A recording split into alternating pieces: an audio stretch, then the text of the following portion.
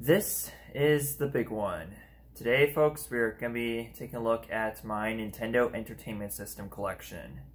The NES was the retro console that I wanted the most growing up. It was the one that I obsessed over. I wanted to know all about it. I wanted to play it. I wanted to have in my collection. I just, it was the console that sparked my interest in retro game collecting and or just interest in retro gaming period basically. Um, it was released 10 years before i was born and yet there was something about it that just made it all the more fascinating to me basically. Um, i my interest in the nes like first began i, I think around the same time i uh, first started using youtube and this was before my channel existed. Um, actually, yeah, it definitely was before my channel existed because it was it was only like a no, it wasn't even like a month. It was like a, just a week or a week or so after I got my channel that I got my NES, basically.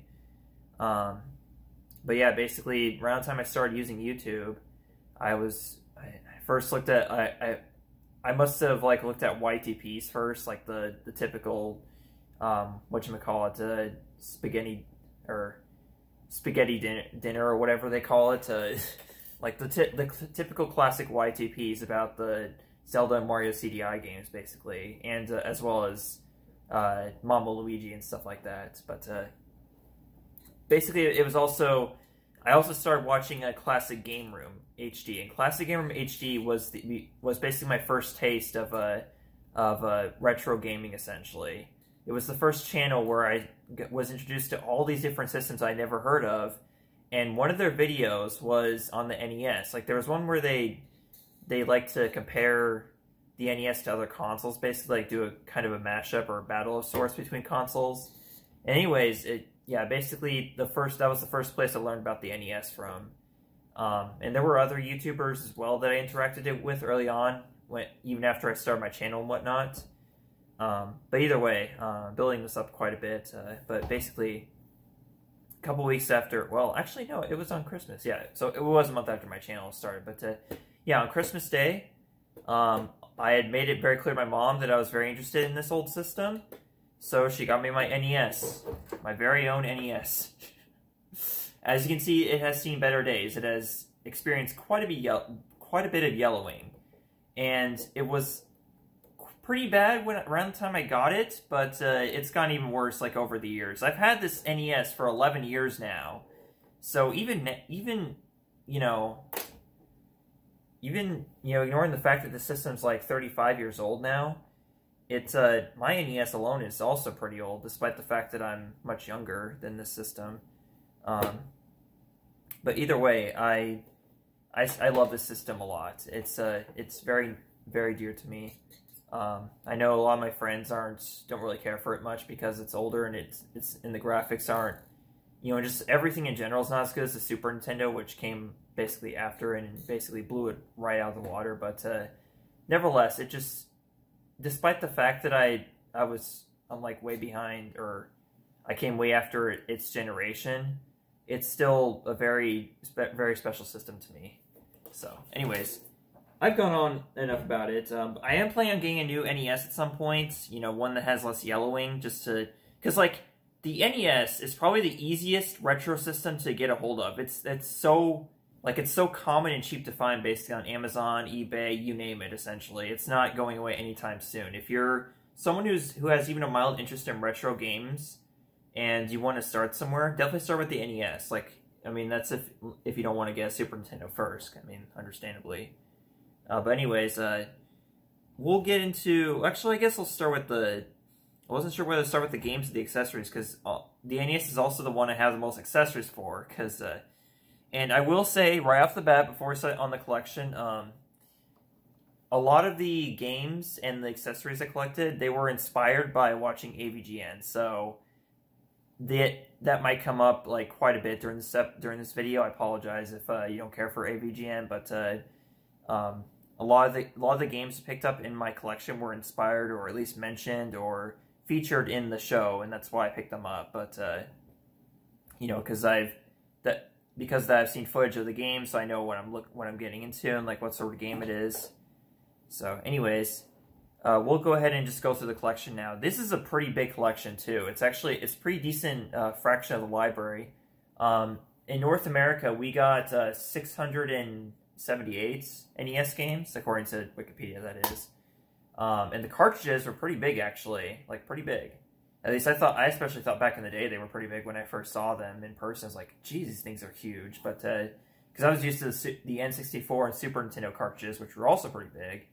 Um, but in actuality, the chip itself is only about half the size of the cartridge itself. But they're pretty indestructible. They can take quite a beating. Um, that's the one cool thing about cartridges versus discs, essentially.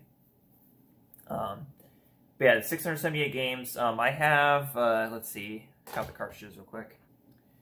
So if I counted correctly, there are 66 NES cartridges here. So 66 out of uh, 678. So that's a small fraction, about about a tenth of it, but uh, so not bad. Um, but yeah, I'll I'll get more eventually as I go on because you know most NES games are really easy to collect. They're pretty cheap, so I've seen a lot of them at uh, you know game stores recently. But the only reason I don't pick them up is because I never heard of them or you know, but like if they're super cheap, I'm gonna start eventually just collecting them, like regardless whether I heard them or not, just to expand the collection essentially. But either way, it's a pretty respectable collection, at least for, for my standards, I suppose. Um, anyways, let's get started. First of all, we have 10 Yard Fight. This is one of the black box uh, launch uh, or 18 launch tiles released in North America on uh, uh October 18th, 1985. And uh, this one is a football game. Um, basically, when the NES first launched, they were trying to they released these 18 games, and they had they they were basically trying to appeal to like uh, every type of gamer. Essentially, like they they were trying to explore as many uh, genres as possible, I guess. So there's gonna be a sports games, action action games, you name it. Okay, next up we have the first uh, game I picked up because it was reviewed by, reviewed by AVGN. Back to the Future on NES by it's one of the LJN licensed or published games. So yeah, not one of the better ones. It's definitely it's definitely a pretty bad game. It sucks. It's one of those sucky licensed games that uh, you just don't care for. You don't you play for like five minutes at best at a time. Next up, we have baseball, another one of the black box launch titles. You know, it's just it's baseball, simple baseball. I wonder if I should have my dad try out a ten yard fight since he's so much so into football, you know, so much. Okay, next up we have actually one of the uh, decent licensed games on the NES library, Batman, based on the uh, Tim Burton film from 1988 or 89, one of the two. So, yeah, it's a pretty good game for my played so far. I've tried out, uh, I think I've tried out at least, or all these at least once, but uh, haven't really gotten that far into it. Like, I'm not, just because I, I admire the system and love it a lot, doesn't mean I'm really good at the game, so I just want to make that abundantly clear. Um, next up, Bugs Bunny's Birthday Blowout. Um, this is basically a Mario 3 ripoff. Like, there's a lot of uh, similarities to it, essentially. And you'll notice if you play if you actually play the game. Okay. Next up we have Castlevania 2 Simon's Quest. I don't need this needs no introduction whatsoever, especially if you're familiar with AVGN. But uh, if you're not, um, and you might be wondering why I don't have the original Castlevania. That's because with it being the original Castlevania, one of the more popular titles, it's a little harder to get a hold of. Like, it's not going to be at a game store that often because people are going to want it immediately as soon as it arrives there. But uh, Castlevania 2 Simon's Quest is not necessarily a bad game. It's just kind of average compared when you compare it to to, the, to its predecessor. It's a lot like Zelda 2 in a way, sort of. Next up we have Deadly Towers. Hmm, not a good game. This game sucks. It's basically a labyrinth type of, type of game, but like it's I don't know. It's really hard to explain. I guess I'd have to actually make videos on it to prove it. Next up, we have Dick Tracy. So another one of those games. Maybe I'll just say those games so, so that way I don't have to mention AVGN so much. Okay, next up we have Donkey Kong 3. This is one of the first uh, NES games that I had in my, in my original collection back in 2009. And this was the one that worked first. Okay, so I should probably mention the uh, poor design choices of the NES. It is designed basically like a VCR. You load the games inside, like so, and then you're supposed to push them down like so. When you push them down, that bends the connectors, and thus over time, they eventually stop working and they stop reading games altogether. So, what I do is I stick them in, but I don't push them down. And that's why I recommend doing if you have an original NES model. Don't do not push the games down, basically, is the key to keeping your, making your NES games last longer. Um, but as for Donkey Kong 3, I personally like it. Um, I know people are pretty uh, lukewarm to it compared to the uh, the first uh, Donkey Kong 1 and, uh, and Donkey Kong Jr. And, um, well, you'll see in a second that I do have them, but uh, it's a, it was definitely a pretty good game to start with, honestly. But I will say, yeah, like I was saying before, it was one of the few NES games in my collection actually worked without without you know much trouble, basically. Um, sometimes it'd be glitchy, but after I cleaned my NES games for the first time, which I did, and there's actually a video on here on YouTube of me cleaning my NES games and showing how to do it, because there is a proper way to do it, and that's, that's using a um, Windex and a, you know, cotton swabs, basically. That's the easiest way to clean NES games. That's the way I recommend doing it. Um, but yeah, I did that, and it was the first game to work properly after I did that. Okay, next up we have Donkey Kong Classics. So, uh, so this is a compilation cartridge of both the original Donkey Kong and Donkey Kong Jr. Not the original arcade versions, but the NES versions, which are decent. You know, they're decent ways to play the games at home. That was a selling point of NES games. NES, when it first came out, was being able to play arcade games at home, because uh, that was a selling point for a lot of consoles back in the day. Next up, we have the original Double Dragon basically a fighting game franchise of sorts. Okay, so that's the end of the first of four piles, but what, but I will say that the first pile is only about half the size of the other piles, so yeah, stay tuned. Okay, I guess I'm missing... Oh, oh my god, I missed... That explains it. I wasn't at the bottom of the pile yet. Now I am. Double Dragon 2, The Revenge. So there you go. Because I thought I had all three of them, and I do. Because now we have the third one. Double Dragon 3. Does this have a... Yes, it does have a subtitle. The Sacred Sacred Stones. Yeah, there's your little Double Dragon trilogy. Trilogy? Seriously? Next up, we have another one of the uh, original titles I owned, Dr. Mario. A very decent puzzle game that started on the NES. Oh, I even have the instruction booklet for it, too. What do you know? Okay, next up we have Duck Hunt. This is another one of the uh, original black box titles on the system. And uh, we'll get more into that once we get to the accessories, basically. Next up, we have another one of the launch titles, Excitebike. So this one is part of the programmable series, what's called, and the reason why is because you, you can actually design your own tracks on this game, which is actually which which was pretty impressive for the time. But obviously, with it being the NES, you can't save your design, so it's not that impressive. But it was still pretty cool. You can make your own tracks, basically. But otherwise, it's basically a motorcycle, or, yeah, motocross game, basically, of sorts. Um, next up, we have Fester's Quest. Yeah, this is basically an uh, Addams Family game of sorts. And it's not very good, unfortunately. Okay, next up we have one of the classics, Final Fantasy. So, I don't think Final Fantasy needs any introduction, but uh, yeah, it started on the NES. And nowadays, people are playing Final Fantasy 15 on the PlayStation 4, and it's it's awesome. Okay, next up we have Gyromite. Another one of the launch titles, but this one is very special. And we'll be getting into that towards the end of this video, once I get to the, get to the accessories again. Next up we have another black box launch title, Golf. Nothing more to say about it other than the fact that uh, the character the uh, yeah the character in the game looks like a lot like Mario, doesn't he? I can see it definitely. Okay, next up we have another black box launch title, Hogan's Alley. It's another one of those uh, light gun series games.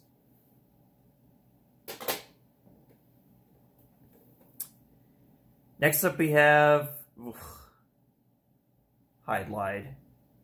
Don't play this game. It sucks. Just don't do it. Please do yourself a favor.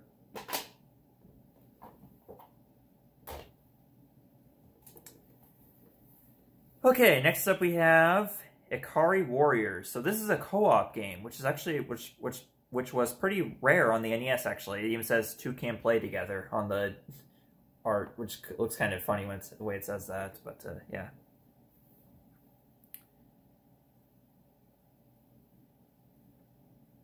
I think we're all familiar too with the code, which you can, where you can bring yourself back to life by pressing ABBA whenever you die. So there's that as well. Okay, next up we have Jaws, published by LJN.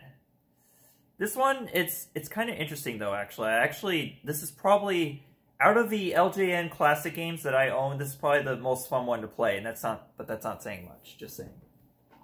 But it's basically an RPG of sorts, actually. Next up we have Karate Champ.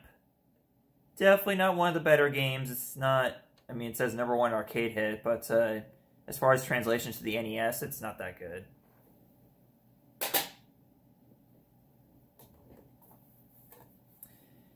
Okay, next up we have The Karate Kid. It's it's not that bad as far as LJN games go, but it's it's still nothing impressive. Um, it's just pretty bleh, average.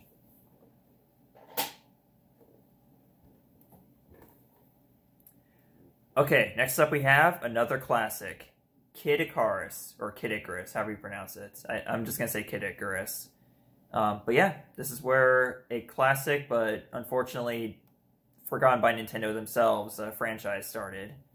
And it was made by the same developers as Metroid, enough. Oh.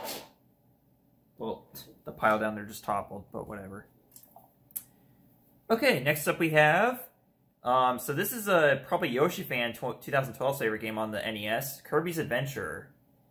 And this is one of the few NES games that can actually be saved. It's got, uh, you can tell because it's got this uh, notice on the back of the cartridge that says, uh, you know, it's kind of gold unlike the other ones. And it says, uh, this game pack contains batteries. Do not rapidly turn the power switch on and off. Do not load or remove while the power is on. So there's a yeah, so basically there's a battery backup in the NES games I can save, and like I said, there's very few of them. Kirby's Adventure is one of them, and I believe uh, Final Fantasy is also one of them. I didn't check though, so but I'm pretty sure Final Fantasy you can actually save as well. Um, next up, we have a, another uh, black box, uh, yeah, black box uh, launch title, Kung Fu. Very basic uh, karate game, essentially. Okay, we have another classic here. The Legend of Zelda, the original. Believe it or not, I have actually completed this game. This is one of the few NES games I've actually completed. And the few Zelda games, too, at that. Um, so, uh, be... Uh, don't be surprised if you see a Let's Play from this game, or play, Let's Play this game from me in the near future. Just saying. I mean, how can I not play it? It's gold. But you know what else is gold? Zelda 2, The Adventure of Link. So this is a bit of a black sheep of the Zelda series that I'm fully aware of, and I'm looking forward against this one. But if I'm to if I'm to complete the games the Zelda games in order, then I have to do this one next. But uh, who knows if I actually will? Well, I just don't know if I, don't know if I'm going to play it next, like right after the first Zelda. Basically, I played the first Zelda. I completed it for the first time back in a, a few years ago, so I don't know.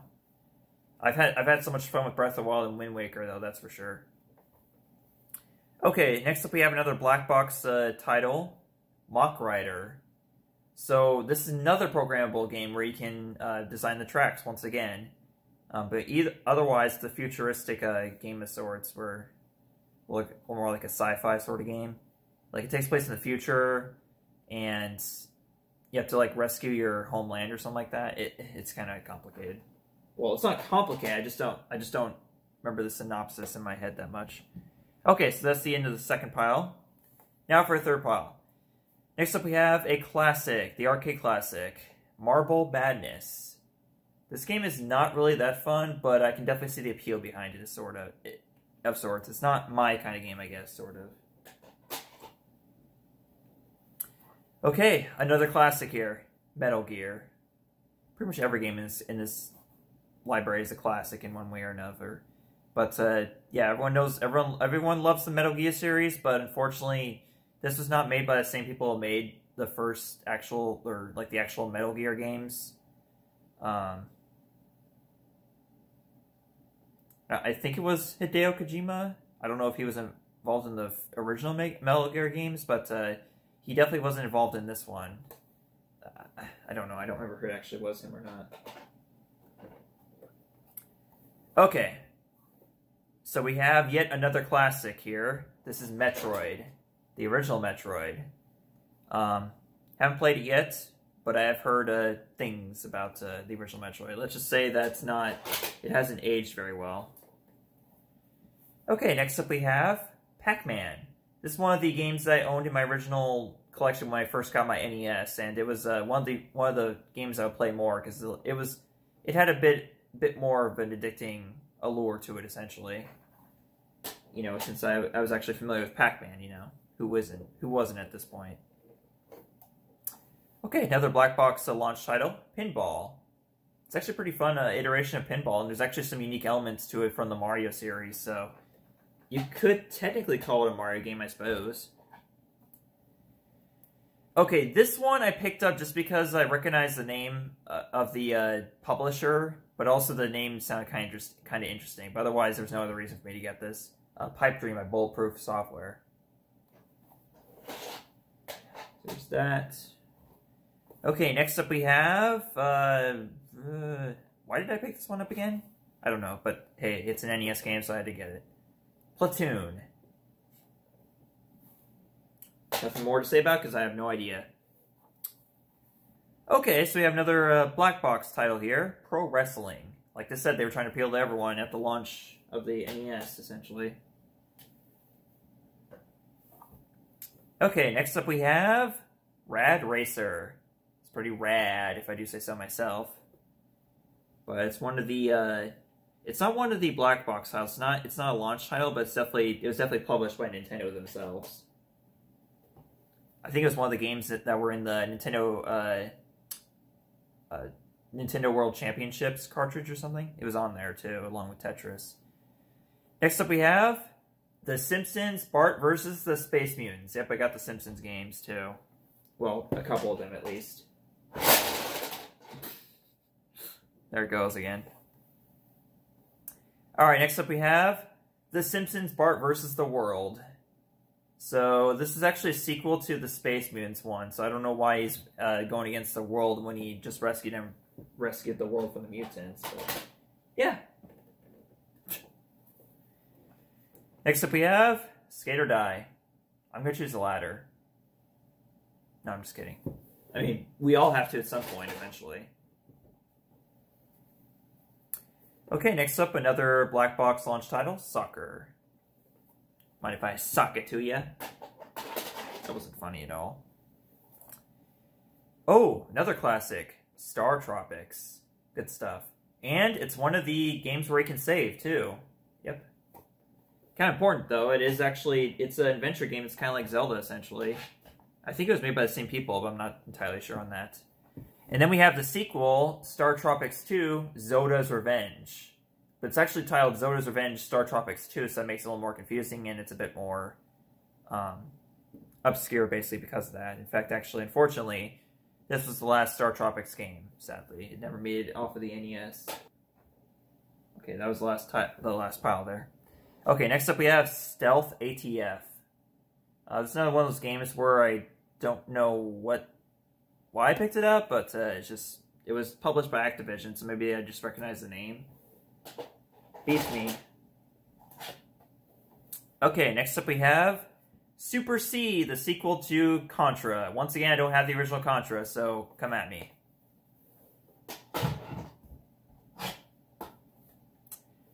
Okay, next up we have Super Glove Ball. No comment on this one. Not yet. Okay. I don't think anyone's ever heard of this game, but uh, if anyone has, please let me know if you if you know anything about it. I don't know anything about this game, so please let me know in the comments below. Ooh, Doki Doki Panic. This is a great game. I really, I highly recommend this one. And then we have what many people say to be the greatest game on the on the Nintendo Entertainment System. It is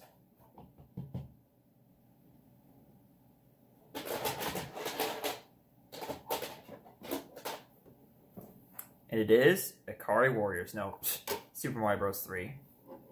I don't think Yoshi Fan 2012 will agree, will agree on that. I'm, I'm pretty sure she still thinks that Kirby's Adventure is the best, but uh, Super Mario Bros. 3 is still a pretty great game. It's still a standout on the NES. For sure. Okay, so next up we have the compilation cartridge that everyone has if they, if they own NES, or, okay, not everyone, but uh, a lot of people do. Super Mario Bros. Duck Hunt. This was one of the, uh, this is how I owned Super Mario Bros. originally on my NES collection. I had, this is the, uh, I think the reason why this cartridge is so common is because it came packaged with the NES in, some, in one of the later sets or something like that. And then we have another one which also came with uh, it came with uh, like the NES Action Set or something like that. Like came with the uh, the Zapper and the uh, Power Pad. It is Smart Bros, Duck Hunt, and World Class Track Meets. So there's quite a few uh, compilation cartridges in my collection. Next up we have Flea. No, it's a Super Spike V-Ball. I volleyball, I'm guessing. And then we have a compilation cartridge, Super Spike V-Ball and Nintendo World Cup. So another soccer game of sorts. With uh, up to four players. Wow. Guess I'll have to get the NES Satellite or Four Score, whatever it's called. Okay, now we have another classic on the NES. Teenage Mutant Ninja Turtles. More to say about that? Who hasn't heard TMNT? All right, black box uh, title here, tennis. Penis. Okay, next up we have another classic, Tetris. Not the good one, but, you know, the Nintendo one.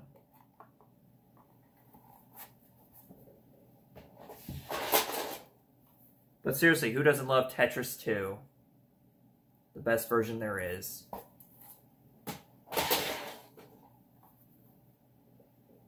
Next up we have To the Earth. I haven't played this yet. I know nothing about it, but I'm willing to bet it's a shooter. A space shooter. Next up we have Top Gun. Top Gun. Believe it or not, there was actually a sequel, Top Gun The Second Mission. It's one of those uh, uh, shooter games of sorts, like first person too. Okay, next up we have Total Recall. Yeah. If you know the kind of movie that Total Recall is, you'll know that it is a, that it is a perfect game or a perfect movie to make it to a kid's game. Thanks, Acclaim. Okay, next up we have Track and Field by Konami. So, uh, yeah, it's another one, one of those games that use the uh, power, the NES Power Pad, I do believe. I do, I just believe. I could be wrong. And then we have the sequel, Track and Field 2. So I'm guessing they have different events on them probably, because they probably couldn't fit all of them on the one cartridge. Next up we have the best NES game of all time, Where's Waldo? Which can be can potentially be beat in just six minutes. Next up we have World Class Track Me, which requires the power pad. But this one, uh, yeah, it's just a standalone cartridge basically, because you saw the compilation I had there. Next up we have Xenophobe. So another basically arcade, or it says authentic arcade edition, split screen action, two player interactive. So other than that, I don't know anything else about it. but I do know something about Yoshi. Yep, Yoshi had games on the NES, believe it or not. They were puzzle games. He also had, uh, or, well, they also had Yoshi's Cookie. And that, my friends, is the last of my NES collection. But wait, there's more, as Billy and the words of Billy Mays. We still have the accessories to get through. I'm just gonna pull them out randomly, actually. Okay, so remember that game Super Glove Ball? Well, in order to play that game, and uh, actually, there's also, there was one other game that was made for this accessory, but uh, yeah, in order to play that game, you needed the Power Glove. You need to have the power. But seriously, this is probably the, I don't actually the second best uh, addition to my collection, my video game collection, actually. because you would not believe how proud I am to have this this accessory because this is just one of the best things ever to have. I mean, yeah, functionally it's not that not not that great of a you know not that great of a system, but seriously, it's a controller that you can wear. Like how like how awesome is that? You know. So yeah, believe it or not, folks, I do own a Power Glove. Um, I've actually tried playing with it a couple times. I had Ultra 64 Fan 1 give it a try too. And yeah, this thing is just as bad as people say it is, but it's still, like, you know, functionally. But otherwise, it's still pretty awesome. I mean, like, seriously, it's a controller that you wear. Like, how awesome is that? But so gotta get more accessories here. I got this wire hanging off my arms. It's gonna make it a little more difficult to grab stuff. Okay, next up we have the NES Zapper, or Light Gun as it's also known as. And basically what it is, is you'd use this for Duck Hunt, Hogan's Alley, and Wild Gunman, and a, couple, and a few other games. And basically you point at the screen, and you would fire in at the direction of them, and the, the, the whole screen would go black, eh, with the exception of the targets, which would be white, or giving off, yeah, they'd be giving off light, and if the, and basically be determined, like, and then it would the light gun would determine whether it's pointing at the light or not. And that's how it would know that you got your, your targets, basically. We didn't have a motion sensor bar back in those days, unlike the nowadays when we have the motion sensor bar for the Wii. Or, yeah, we didn't have the motion sensor bar for the Wii back in the day. Okay, next up we have probably the proudest addition to my NES collection as far as accessories go. And the whole reason why I'm actually kind of glad I got uh, Gyromites. This, my friends, is Rob the Robots, the robotic operating buddy. Unfortunately, I do not have any of the pieces that come with him to, to, to play Gyromites. I don't have Stack Up, but whenever I do get Stack Up, I intend to get it with the part, the pieces that come with it, but they're so freaking expensive. So it's going to be probably ages before I get the, the pieces Rob. But mark my words, someday I will. I'm just excited to, over the fact that I have Rob. Like that's so that's so cool. You not believe how hard it is to get Rob, let alone the pieces that come with him too. Next up, we have the NES Advantage, basically an arcade-style joystick that is basically makes you feel like you're you're in the arcades when you're playing the shooter games and whatnot, and any of the other games that are ported from arcades like Donkey Kong and whatnot. And it even comes with the turbo functions too for games like Ghostbusters, where you where you, you know you're in that one scene where you know that one part where you're going up the stairs and you have to tap the A buttons, but you can instead just press hold the turbo button. A few other accessories too, like there's the NES Max, which is basically a regular NES controller but with the turbo buttons essentially. Uh, but the control the control stick is really weird on this. Like, what the hell, man? It's hard to show it up close, but yeah, it's like you move the move the red uh, thing around. It, it, it's just weird. I don't recommend it, honestly. That's about it, because otherwise all I have is just the regular NES controllers. I mean, like, I also have the NES Classic Edition, too. So here's the NES Classic Edition, preload with, with uh, 30 NES games for release in 2016. Of course, you could mod it to add other NES games into it, but it's a good way to play 30 of those classics with uh, in HDMI. But like I said in the beginning of this video, I am eventually planning on getting... Uh, another NES that the so what so that way it's a little more appealing to look at. It doesn't have the yellowing, uh, the aging yellowing effect on it. And also at some point, I'd like to get a uh, uh, what you may call it. Uh, at some point, I'd also like to get the AVS. So the AVS is actually a uh, a modern version of the NES that plays NES games in HDMI. Essentially, it puts it outputs them in HDMI. So you still have to have the any the actual games, but you can play the output them in HDMI. So I might actually get go with that instead of getting a, another NES, but who knows? There's also the top loader mod, which lets which lets you play uh, European and Japanese games as well. So there's that too as another option. But uh, either way, folks, that hit that that's my NES collection. Um, join me tomorrow for the miscellaneous collections video where I show um, basically like the single um, the games where I the games I don't have consoles for, and also uh, systems where I don't have games for, or they're just with uh, built-in games and whatnot. Um, basically, tomorrow's the uh, ending of this whole video game collection series, and uh, then after that, I can move on and talk about other stuff like the snow that's going on outside. But uh, more on that in a later vlog. For now, this is we've already gone for about 40 minutes here before editing, so uh, I'm going to end things off here. So, see you guys next time for next vlog, whenever it is. Thank you, goodbye.